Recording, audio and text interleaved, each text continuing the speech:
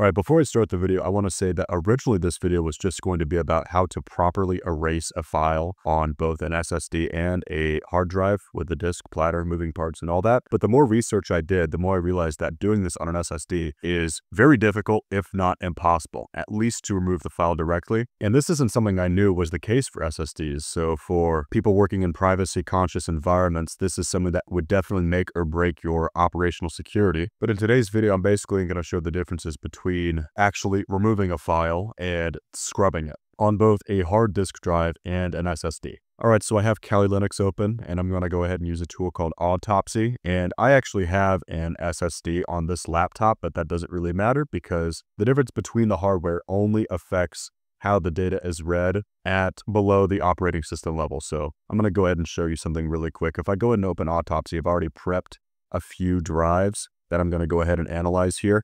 And just to kind of show you exactly what it is, I'm going to go ahead and show you this first, actually. These three drives right here. So these are three image files, drive image files. This one has a file that has not been deleted. In other words, moved to the trash folder of this Linux system. This one has a drive, or sorry, a file that was moved to the trash folder. And this one I went over with the shred tool. So this one is not only deleted, but shredded also. Now I'm going to show you what exactly you can recover for each of these different drives. Now I don't have access to the lab equipment you would apparently need to be able to uh, forensically analyze a SSD below the operating system level and I don't have what's called an open channel SSD. And more, I'll go more into that in the future, but this is Autopsy. This lets me see what's in drives. I'm to go ahead and open my little test environment here. If I click OK, I could just go through that host one. And here are my three drives right here. So as you can see, mount shows that this says one, this says one, and then this is just a raw file right here. And you can see the partition scheme here. I think that's what it's called. To be honest, I'm kind of new to this anyway, but I'm going to go ahead and show you what this looks like. So yeah, a bunch of categories up here, and I'm going to go ahead and check out file analysis. So I have a few files right here. I have the default lost and found file that gets generated with any ext4 partition if you format it that way in Linux, but this is hello.txt. I created this file on this drive before I unmounted it and put it into Autopsy so I could forensically analyze it. As you can see, it says hello world. This wasn't in the file itself, but this is just some information about it. And I don't think this says anything at all. Yeah, this is just, you know, navigation stuff. This is pretty simple, just a file. And that's pretty much it. Shows some more information about, you know, metadata and whatnot. Let's take a look at the dummy file, or sorry, the dummy deleted post here. So if we take a look at this, even if we go to file analysis, it may not be there. And sometimes it won't even show up in the deleted files, but it's still present in the actual drive itself. Now, this partition is so small, I think there are some artifacts that kind of messed with the way it recovers deleted files. I don't know if it just reads the headers and footers of stuff and whatnot. I don't know whether it needs you know, a partition table, which these drives did not have. So I'm going to go ahead and take a look at the metadata. Or actually, you know what? Keyword search. Now, the file that I deleted was just called, I think, dummy deleted or something like that. So if I search for this right here, yeah, it found it and it was really easy to find too. So we have dummy deleted. Yeah, that was the name of the file.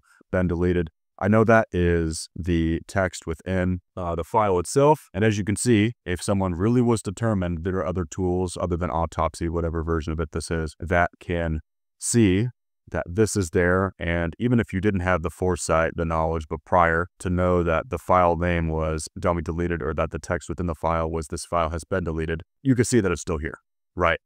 Now let's take a look at this other one here, this other drive, this last one where I actually went through and I scrubbed it completely. So I scrubbed the entire drive. That's why it says raw.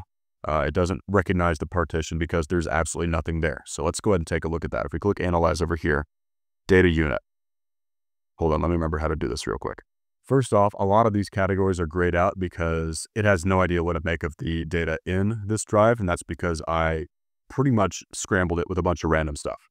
Okay, so I just picked a, a random unit in this drive that I completely scrambled. And as you can see, it is nothing, nothing at all. If I just pick another unit here at random, if I click view, nothing. This is completely random. There's nothing in here that's decipherable at all. Yeah, no way anybody is making this out. That is, if you try to do this at the operating system level. And let me explain here. because in order to understand why your SSD files are not completely scrubbed, you have to understand how both an, an HDD, hard disk drive, and an SSD work. I'm not going to go over the super specifics here, but the main difference between an SSD and an HDD is that HDDs are just a disk with an arm, right?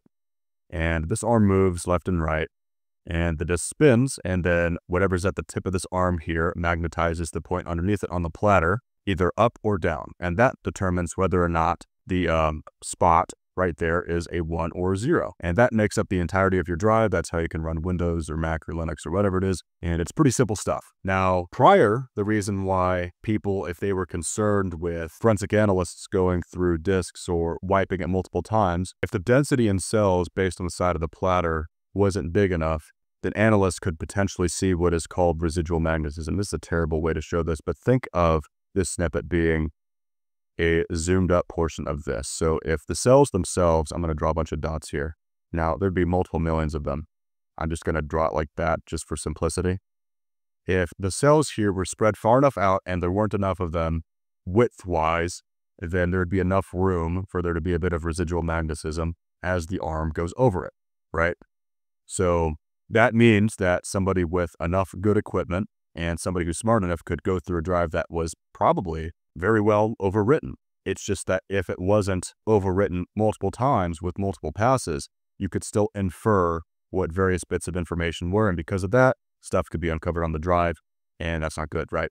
So as a result, people would start going through many of their hard drives with multiple passes. They would do it multiple times. And one thing I haven't mentioned yet is that defragmenting is a thing on many PCs and computers because all of the data associated with the program was pretty close together in the drive, or at least easy to access, pretty close together. The arm wouldn't have to move as far or the, uh, the disk didn't have to spin as far in order to get it. And because of that, your computer would be slightly faster if you were loading something like large amounts of small video files, etc., in like video editing or something like that. Now that's the background with a hard disk drive.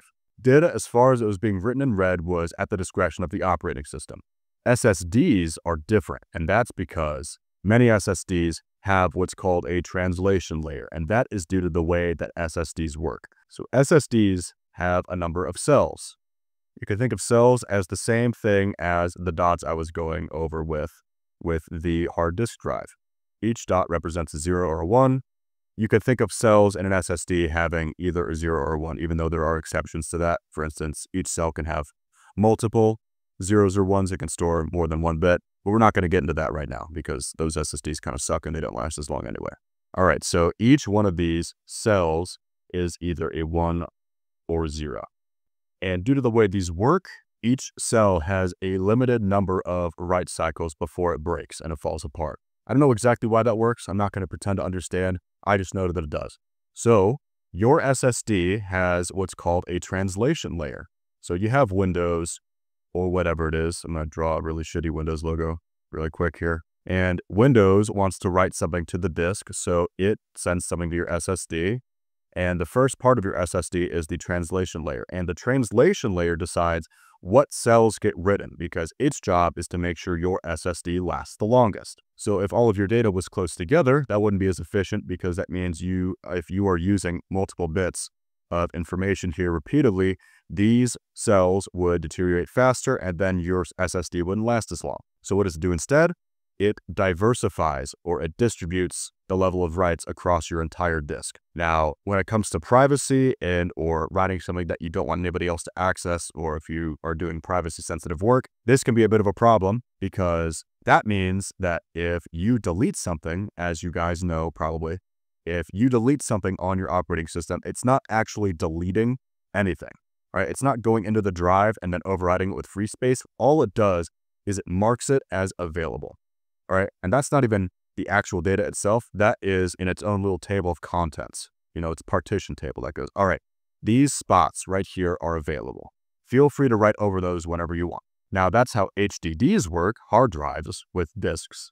And SSDs do that also, but with a little bit of a twist. Because they have to, because this translation layer's goal is to increase the lifespan of the disk, I just do a little mini clock there for some reason. What it does is that, but with a few differences.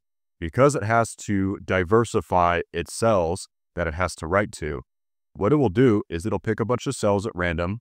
And what it does is it marks those cells as free. But if you save another version of a file or something, this all happens unbeknownst to your operating system because it's past this translation layer. Another version of your file will be saved to different cells. So what that means is that if a forensics team got a hold of your SSD, they would be able to recover old versions of your files. Whereas this would not be possible in this sense with a typical HDD. So in other words, even though there's nothing here, this is all above the operating system layer. Now there is a caveat to this because there are multiple different kinds of SSDs. There are what's called closed channel and open channel SSDs. Now the difference between those is that open channel SSDs don't have this translation layer between the operating system and the SSD. Now what does that mean? It means that your operating system has direct access to the cells, right? So that means this Windows or Linux or Mac OS or whatever would have direct access and, and have the ability to record and understand what cells they're writing to when they're saving something. So in the event of physical compromise, if your adversary doesn't have, you know, the laboratory tools and equipment needed to be able to forensically analyze your SSD directly, as in physically, if you have an open channel SSD, you are in a worse spot. However, this is also a good thing. Let me explain. If you're in a position where you are a journalist in another country and whatever you were working with was sensitive or your life was at risk or something like that, if something were to happen to your drive, if you had a moment beforehand and the SSD you were using, I should probably label this. There we go. And the SSD you were using was an open channel SSD, it would be theoretically possible to write some kind of program that would be able to shred individual files the same way it would on an HDD, right? Because with HDDs, you understand exactly where your files are because they're all really close together and there is no translation layer between the operating system and the hard drive.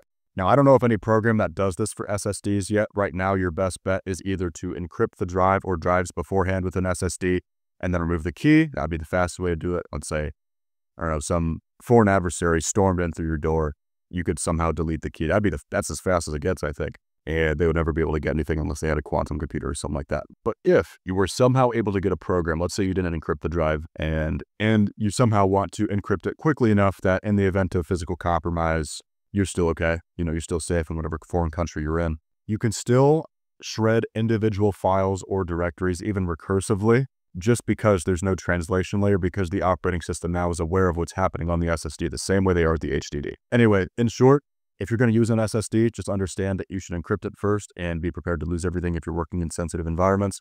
And if whatever reason you're, and for whatever reason, if your SSD gets seized and the investigators have the means to peer into the SSD below the operating system level, that is, if you have a closed channel SSD, they're going to see what's on it, even if you delete it or scrub it. And if you have an open channel SSD, you're going to make their lives even easier if you don't have something that scrambles your deleted files, which as far as I know, that doesn't exist yet unless there's some proprietary firmware thing. So I guess that means if you're doing anything privacy related, you should use hardware with an HDD because that way you know exactly how your data is handled.